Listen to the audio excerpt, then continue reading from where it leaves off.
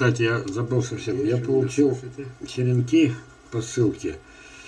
Это наследие, и- и- это наследие а. Татьяны Александры Ноги. Так уж и плохо. Вот. Мне прислал один Так, из тех, кто живет рядом. И у меня, к сожалению, так как э, уборка есть уборка. Так, значит, Разорванный, э, Сызрань. разорванный конверт. Так, Фамилия Тютю. А у меня же памяти нет, я так и живу одними эмоциями. И получается, я прошу отозваться вот, того, кто мне прислал эти черенки, потому что я не люблю быть долгу. Отзовитесь, пожалуйста, я уверен, что вы меня слышите. Татьяна Александровна Ноги. Так, добрый вечер. Прислал один из тех, кто живет рядом. Казахстан. Рядом. У меня, к сожалению, так так. уборка есть уборка. Так, Разорванный, э, разорванный конверт. Так, у нас. Алтай крайность в крайность около нуля с буранами. Кстати, про я сегодня не успел, уважаемый алтаец, одними эмоциями, житель Алтая. У вас там есть фирма, которая такие вещи продает.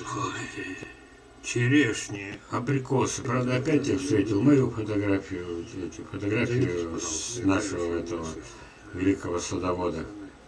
Так, э, ой, у меня, как я быстро старею, как я старею.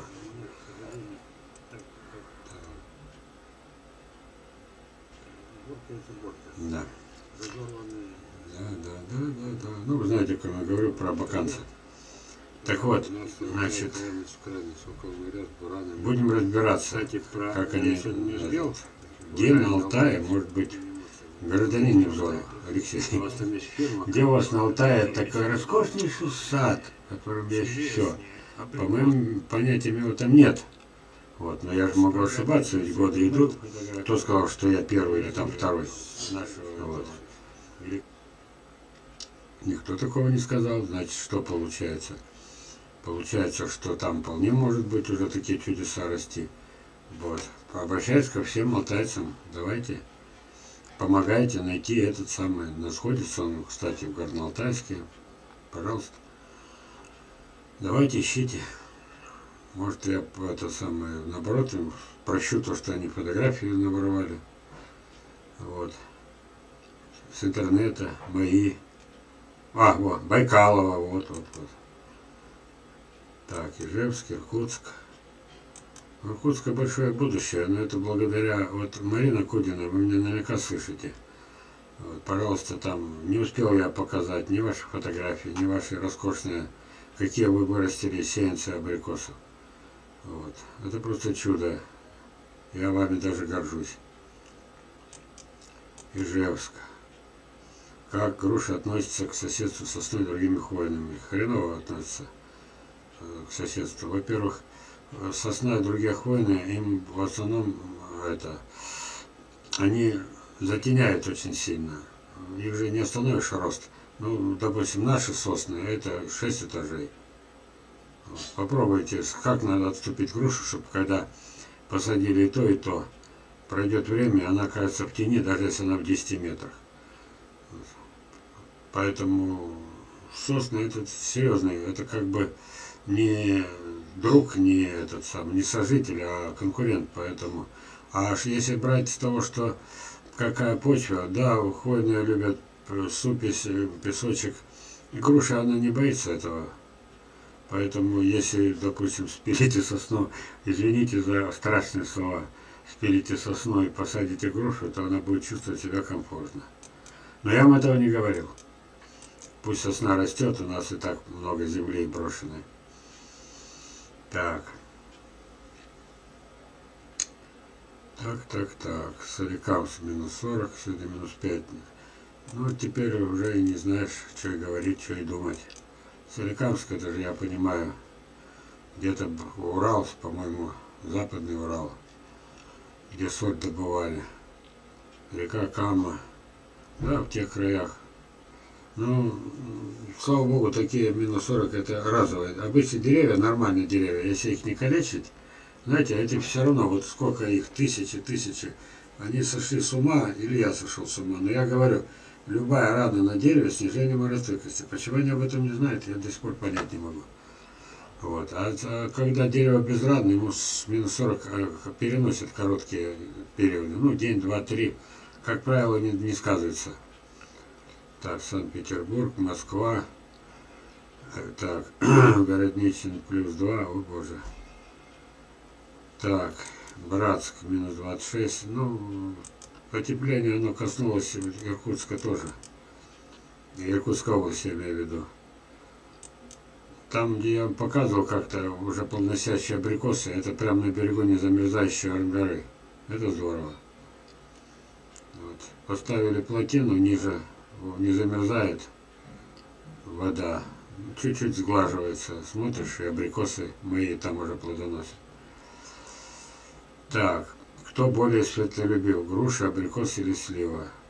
Значит, груша и абрикос, они, э, как сказать, они не любят, э, в общем, если их не трогать, да, не трогать. И главная задача с помощью довольно плотной кроны, э, ой, я по порядку, груша пока, более плотной кроны добиться того, чтобы э, вода не калечила штамп и основание штампа, и корневую шейку, то есть не гнила, а так.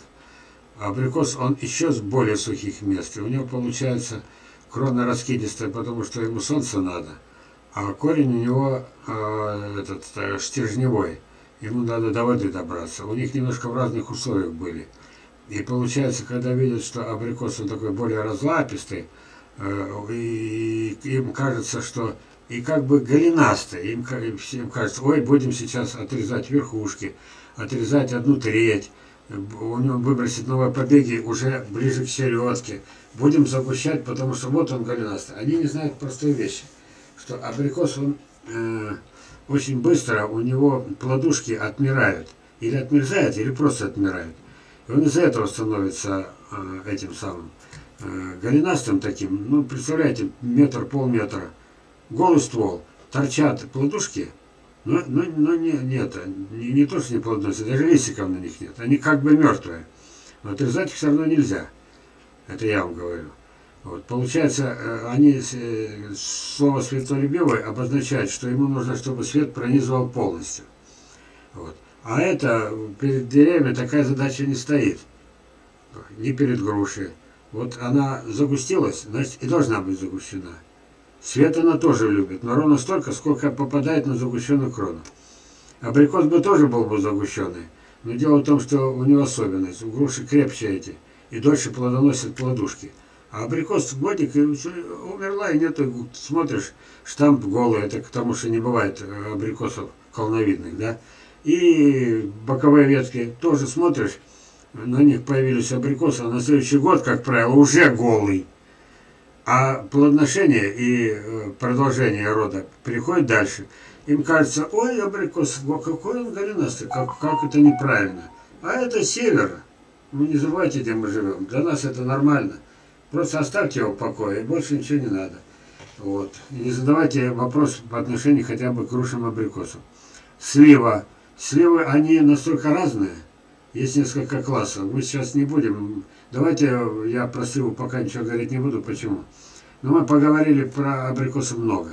Про грушу не все, но уже много сказал. Так? Можно в следующий раз закончим грушами. Сегодня даже подступиться не успел ну, устроил тут митинг. Вот. Э, и получается, что по сливам нужен отдельный разговор. Слева венгерки и слева ленклоды, они настолько разные, такое впечатление, у них вообще ничего общего нет. Уж назвали бы одну сливу, а другую каким-то другим словом бы. Так же, как вот войлочная вишня. Она и вовсе не вишня. Войлочная вишня – это слива. Еще один вид сливы. Но не совсем слива, но ближе к сливе. Вот так вот. Про сливу будет отдельная тема, тогда и будем говорить. Одну надо более светолюбивую, другая менее.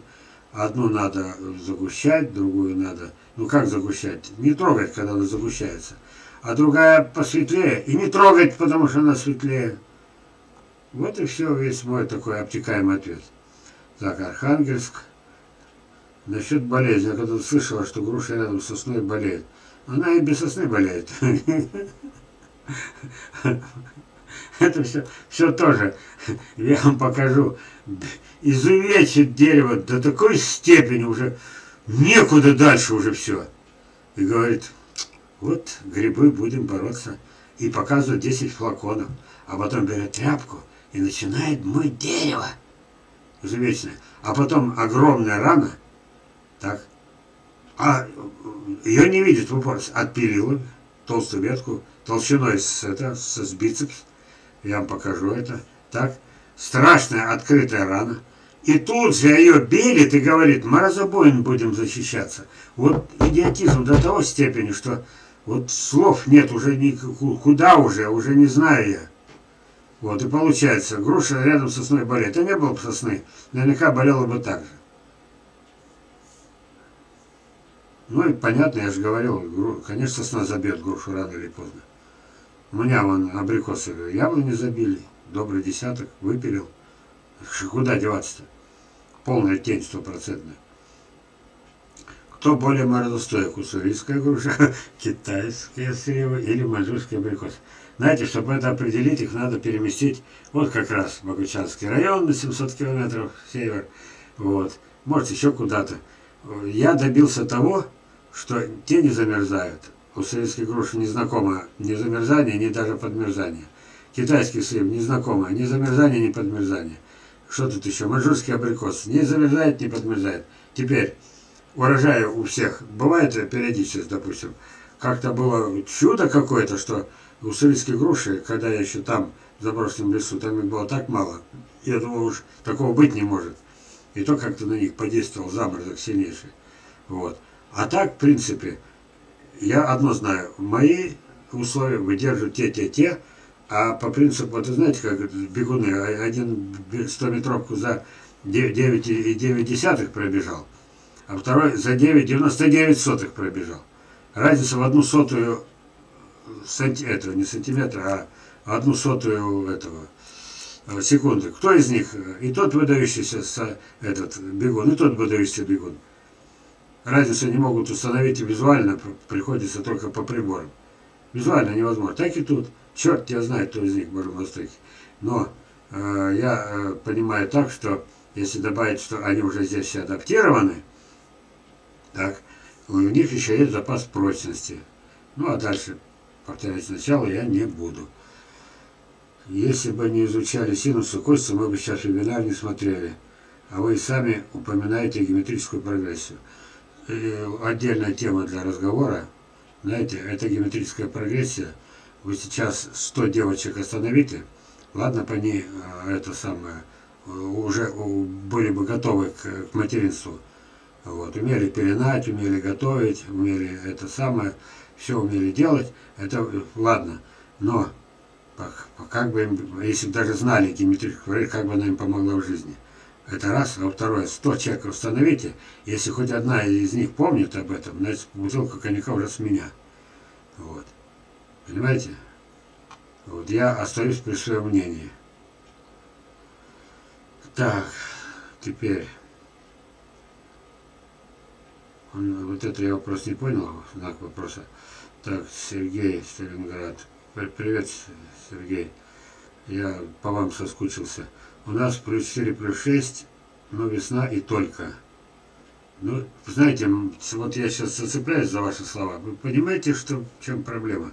Меня, особенно ленинградцы это, и москвичи, долбят и долбят. Ну, не пора ли, а некоторые же у меня черенки купили, а некоторые посадили, не посадили, а, а мы, а, ну, кто-то, ладно, кто-то взял и посадил. Тут шансы неплохие. Это уже, как сказать, полуискусственное, меня все-таки они с лета, с осени в холодильнике лежали, пусть даже сухие. Но это все равно хоть какая-то нострификация, раз на холоде. А здесь-то получается, меня задают вопрос, ё-моё, а я не знаю, как ответить. Вот. Но отвечаю так, хотите все-таки прививать, ждите все-таки марта южане и апреля ждите северяне. А то сейчас напривайте на свою голову. Вот. Это вещь ответственная, будем пока ждать. Вот. Хотя, конечно, ничего хорошего я вам не сказал, было бы побольше подбоев, больше бы черенков, я бы сказал, привайте тогда руки через полный час, потому что можно угадать, потому что впереди лето. А можно не угадать, вернется зима, погибнет, оно потом опять второй раз, второе просыпание деревьев будет. Вот. И тогда привьете, второе просыпание после э, цикла опять похолодание, ну там минус, может даже до минус 20, в той же Ленинграде, в Москве может быть и минус 20 впереди. Что такое февраль? То он еще начался только. Поэтому э, яйца в несколько корзин, рисковать сейчас или ждать, это на ваше усмотрение. Но я бы сказал, подождите. Так, уважаемый Олег, если можно ли привить персик на корневой отростке сливы? Как это может повлиять на вкус и цвет? Никогда не думайте про вкус и цвет. Запомните. И вот первый вопрос я уже ответил, считайте, что отвечаю четко и понятно. Персик не можно прививать на корневой отводке сливы, а нужно прививать на корневой отводке сливы. Куда найдете, туда тычьте. Хоть на какие отводки, хоть на сливу, хоть на волосную вишню, на абрикос, на терн, на лучу, на, на, на, на, где увидите, туда и тычьте. Вот, вот это. Не надо такие вопросы задавать. Теперь, как повлияет на вкус? Плевать, как повлияет. Персиков невкусных не бывает. Вот. Мои персики пробуют, говорят, аромат невероятный, да? Ну, с кислинкой. Но половина людей имеет пониженную кислотность, им без кислинки не прожить нельзя. Вы что думаете, почему на столе селедка, почему на столе это самое у людей соление, не только варенье, но и соление? Да потому что это все нужно организму. И когда человек мои персики не ест, а жрет, жрет, жрет, вот. И только после 20-го говорит, кажется, кисловато. Наелся. Нашли, что боятся. Какой не будет, такой не будет. Влиять влияет, но не так, не до такой степени, чтобы испортить вкус. Вот мой ответ. Влияет э, межвидовой прививки, но никогда не испортит вкус. Так что его не будет есть. Надо гордиться самым фактом, что персик в вашем саду. Зайдите тут же, проедете 50, 100, 500 километров, зайдите в этот научный институт, зайдите в ближайшие их сотни до сих пор ГСУ, вот, и сравните ваши персики, вам посмотрят вас как на идиота, скажут, какие персики. А что это такое? А, персики! Вот так вам, вам ответят.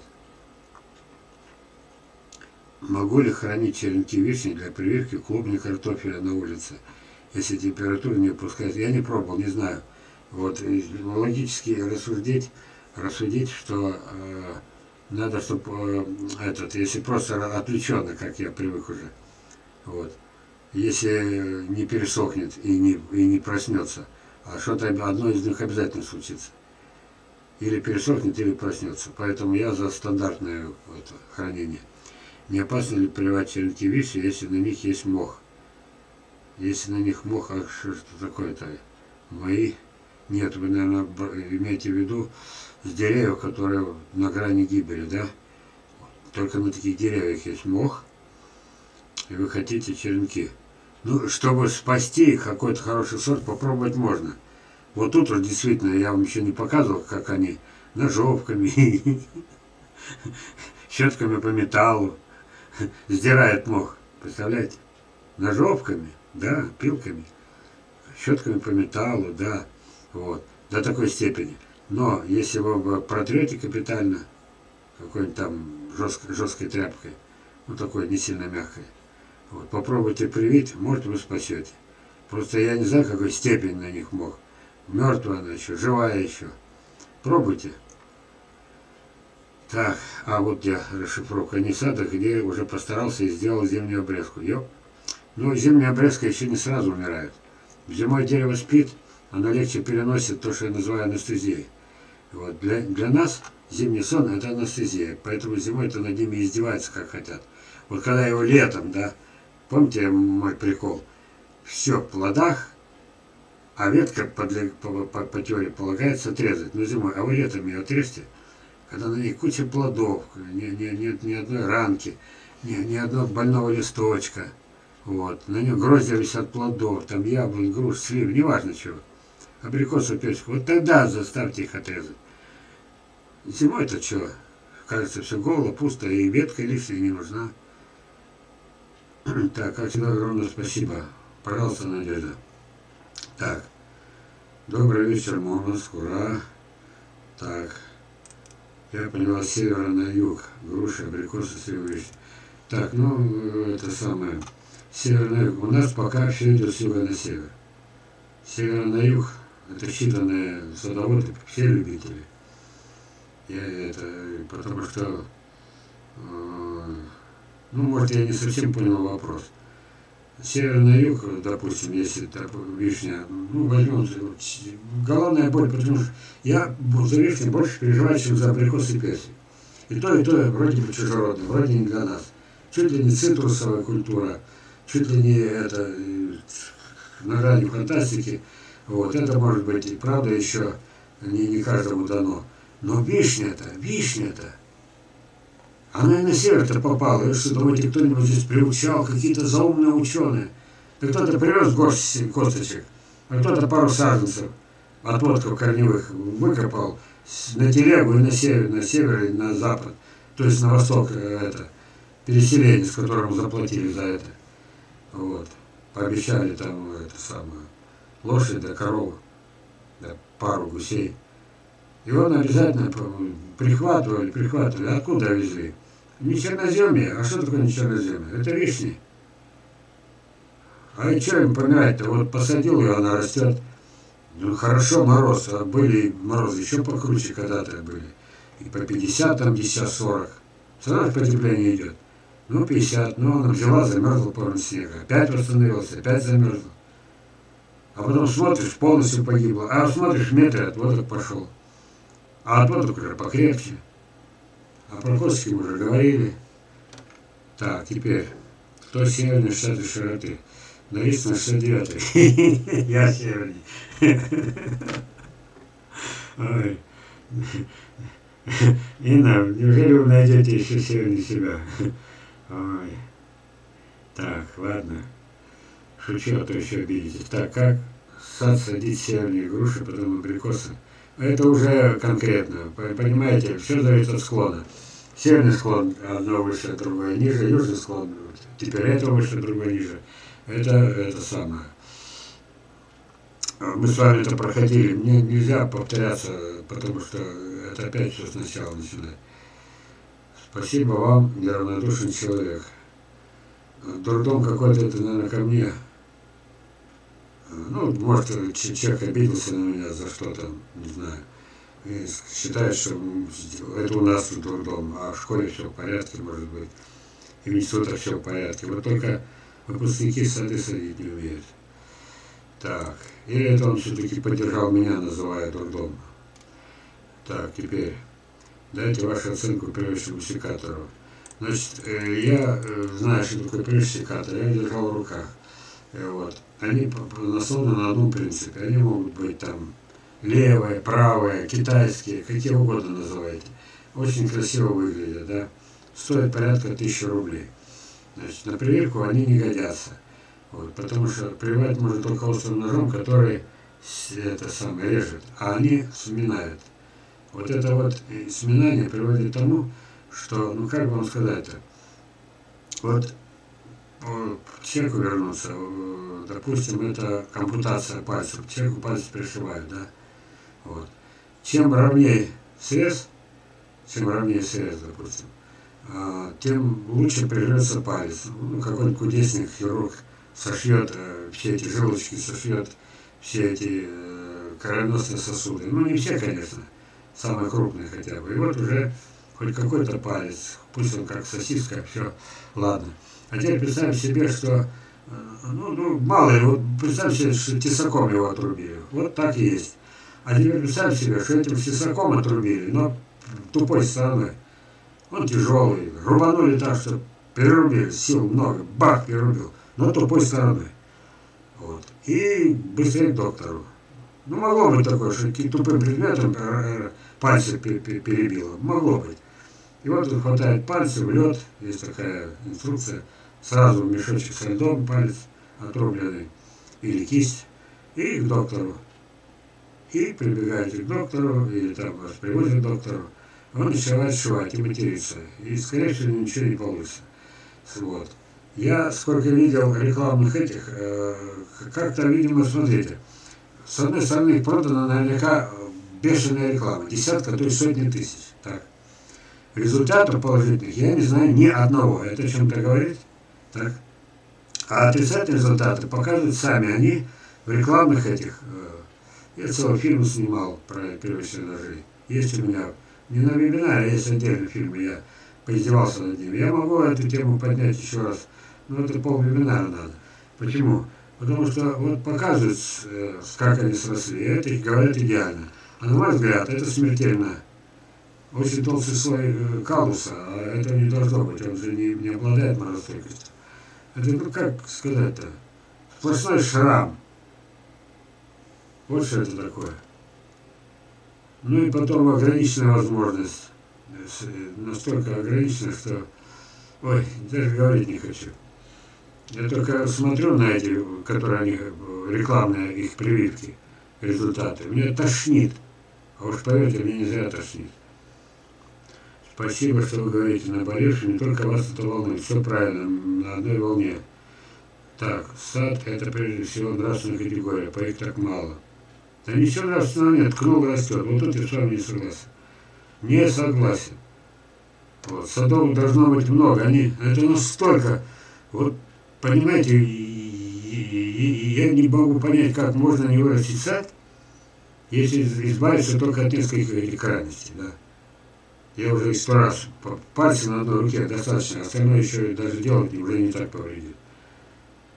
Ваши вебинары не только ответы на вопросы, а образование. Очень вам благодарна за студию видения. Это Антонина Скугарева. Спасибо, Антонина, за поддержку. Что делать с абрикосом или с поросом? Написали, что ответить на вебинаре. Ой, что мне делать? Вот смотрите, вот тут мы были, да? Нет, не тут мы были, а вот тут. Сейчас. А, исчезла вот эта штучка. Сейчас, же мне быть-то? Сейчас, сейчас, сейчас. Я не знаю, Антон Валерьевич, давайте я вам покажу и отвечу на ваш вопрос. Он у меня есть, но он там ниже, я до него не дошел. Давайте закончим с этими, с вопросами. Так. А потом я по, по, это, поищу ваши фотографии и отвечу на вопрос. Надеюсь. Или, может быть, а нет, это целая проблема. На следующий вебинаре, ну потерпите еще раз. Главное, что я вам скажу. Не трогать. Вот мы, мы волшебные слова. Не трогать. А потом мы решим, а давайте вот эту веточку привьем, а давайте эту веточку не будем трогать, а это сильно загущена, отрежете, в руки отрежу, ну, в общем, поняли. Так, идем дальше. Ну, только прошу вас не обижаться, я, и, меня правда занесло, поэтому только я не ответил на ваш вопрос. Хотя он был один из первых. Так, где мы застряли? В общем, Владимир, я надеюсь, что вы меня простили. Звук двоится, картина зависла, так, в Архангельске минус 30. Ну вот, пожалуйста, Африка, Африка, Африка. Привал на грушу 5 сортов три года назад уже был урожай. Так, Андрей, Андрей, Андрей, Андрей. Нет, это не Алексей, у которого такой же результат.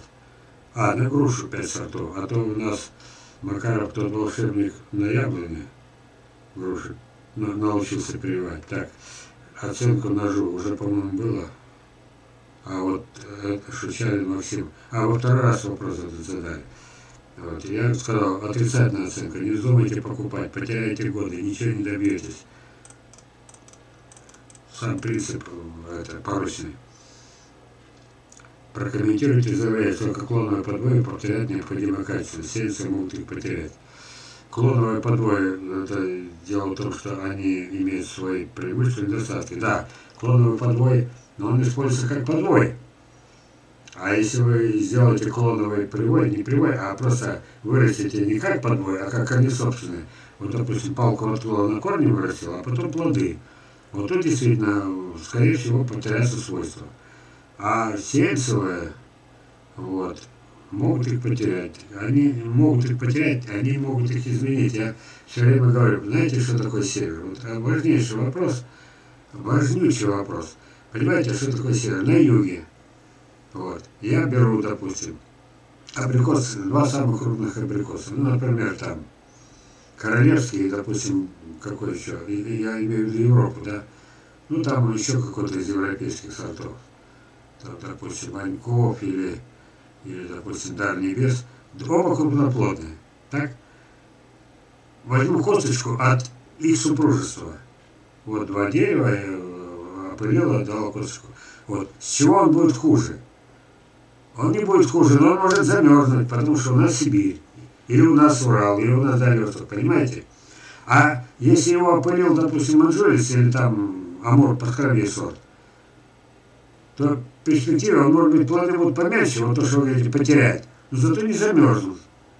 А так как чаще замерзали культурные, а оставались эти, э, те, которые опылялись, более скромные были папы, в результате сложилось мнение, что э, теряют. А это только из-за статистики. Уловили смысл? Надеюсь, э, что пойма, поняли меня. Так. Не теряют, а меняют. Я из Рязани, Подмосковье, села Малышева, села Из-2, Институт Маргаритки. Ну, мы это видим по центральному телевидению. Ой, что творится. Так. Зачем резать при посадке саженец яблони, если садик поздней осенью вегетативный период закончился? Да он-то закончился, но он закончился для вас, а для дерева нет. Вы посмотрите, поздняя осень, а вы, допустим, а, видите чуть выше, в середине декабря цвела жимолость. Не закончился. Не закончился. И вот эти вот жалкие корни, особенно а, вы, вы где саженец яблони собираетесь брать?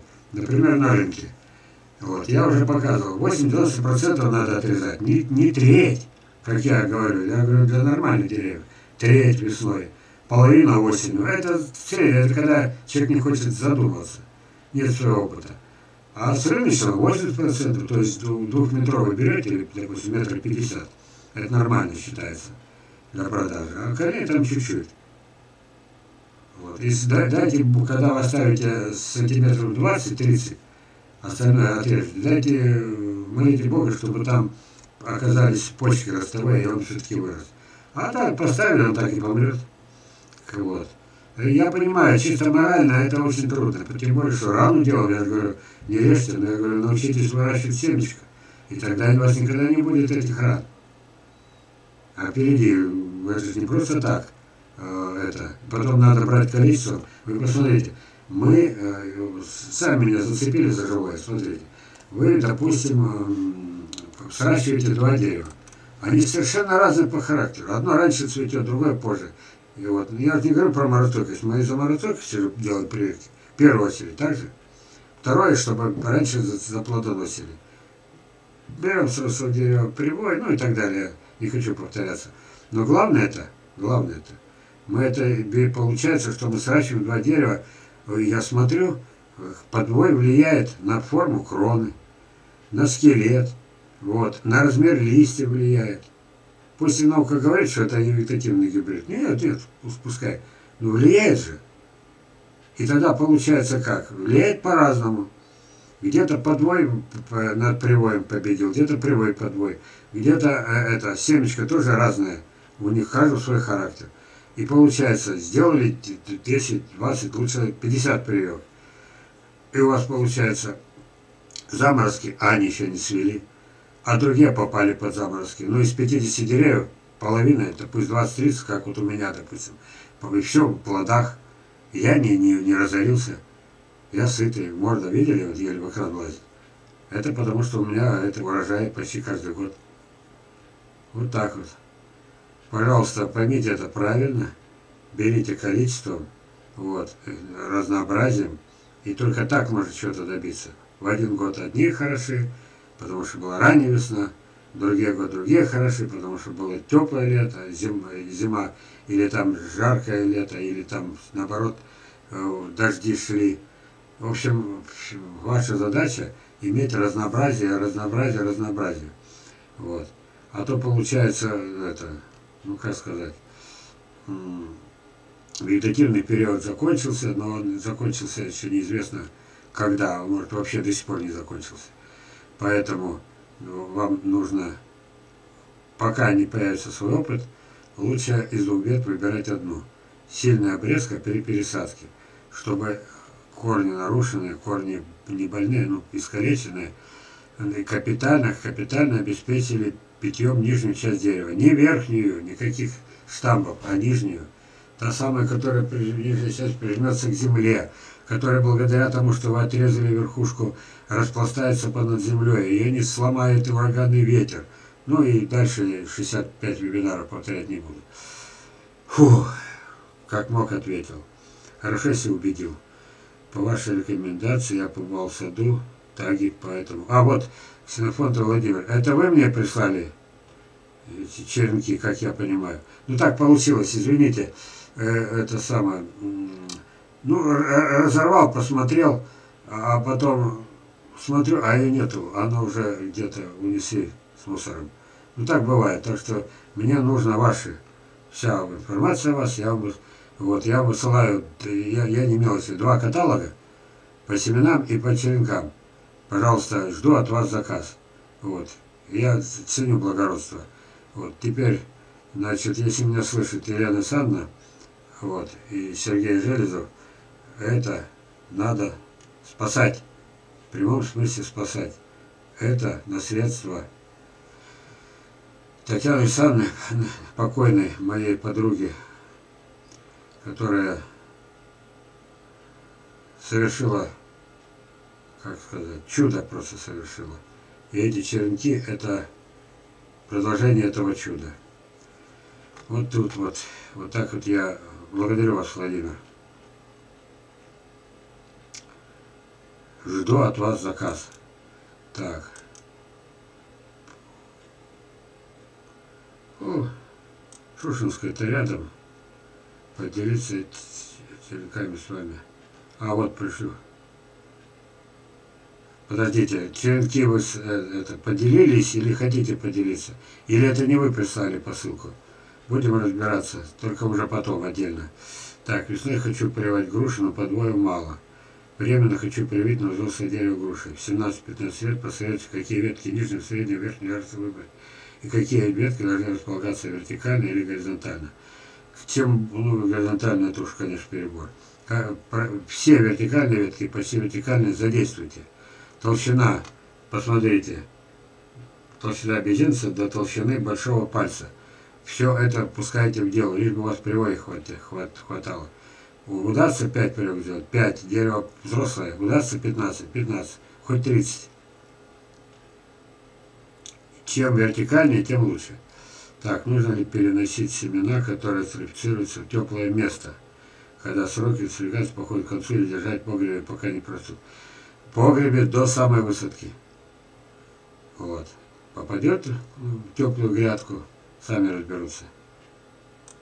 Провоцировать их не надо. Так. Ну что, по-моему, все. По-моему, все.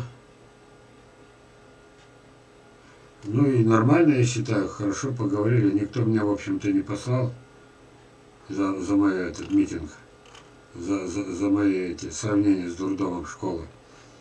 Вот. На самом-то деле все еще хуже. Мальчики сидят с это, постели, вот, половые не развиваются, за компьютером не развивается, дошкольная партия не развивается, на улице не бывает, вот, дальше туалета не ходят. Вот. Половая система не развивается, та, которая снаружи, которая предназначена для этого, стать мужчиной. Два-три поколения, и будет Содом и Гамора, уже наступает. Погнали за, за, за Европой, за Западной, за этим дебильным воспитанием. До пяти лет девочки и мальчики не должны знать, кто они, девочка или мальчик. С первого дня жизни – Нужна игрушка, положил в на, тянись за ней. Стало эти на как бегать. Вот. Кто быстрее бежит, тому конфету. Как можно быстрее, как можно быстрее, как можно быстрее. Чтобы мальчик определился от мальчика.